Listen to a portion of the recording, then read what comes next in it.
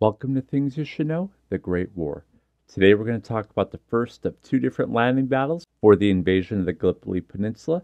This landing is at Anzac Cove, also known as the landing at Gaba Tepe, located on the Gallipoli Peninsula, Ottoman Turkey, between British commander William Birdwood and his Anzac forces consisting of New Zealand and Australian divisions of more than 16,000 men against Ottoman commander Mustafa Kemal and his 9th and 19th Division with his 10,000 defenders on April 25, 1915. High Command had determined there were at least two landings needed to occur almost simultaneously to start the invasion of the Gallipoli Peninsula. The first consisted of the mostly inexperienced and understrength New Zealand and Australian troops, otherwise known as Anzac troops, under the command of Lieutenant General William Birdwood.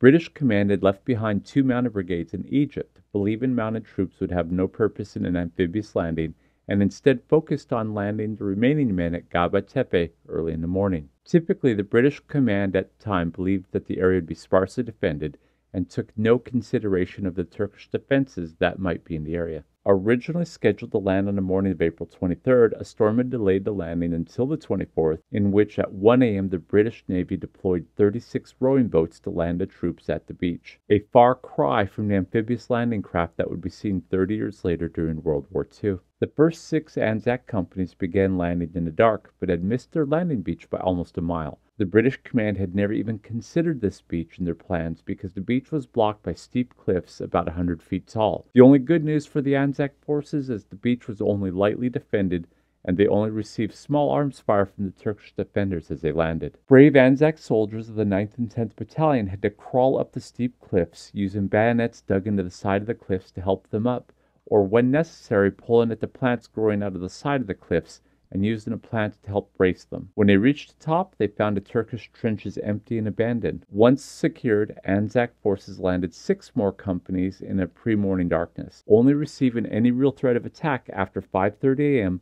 when Turkish Lieutenant Colonel Mehmet Sefik of the Turkish 27th Infantry Regiment received orders to engage the Anzac troops. Sefik, along with his 27th Infantry Division, was accompanied by a machine gun company and an artillery battery, who all moved with the Turkish forces to engage the Anzac troops. By 9 a.m., Sefik had engaged the Anzac 2nd Battalion and pushed them back. Within two hours, Sefik had secured a defensive position and dug in waiting for an Anzac counterattack. For the entirety of the day, the Anzac troops had launched three waves of attacks at the Turkish positions. Unfortunately, due to multiple bad orders and poor equipment, the Anzac troops found themselves in a woeful position that had to then resist a Turkish counterattack. By the end of the day, the Anzac forces had landed 16,000 men, quite a distinction for amphibious warfare using rowboats. The Anzac forces had secured a beachhead but had not cleared the area in front of that beachhead. There were some Anzac and Turkish positions that were facing each other that were only separated by a few meters of dead man's land. Anzac officers were concerned, and that evening they approached Lieutenant General Birdwood to evacuate from the beach. Birdwood was not willing to do that and instead commanded his troops to dig in as deep as possible. Anzac forces lost approximately 3,000 soldiers, at least 2,000 wounded, more than 900 dead, and at least four were captured. The Ottomans lost less during the invasion, with an approximate 2,000 men dead and wounded. Join us again next time on Things You Should Know The Great War.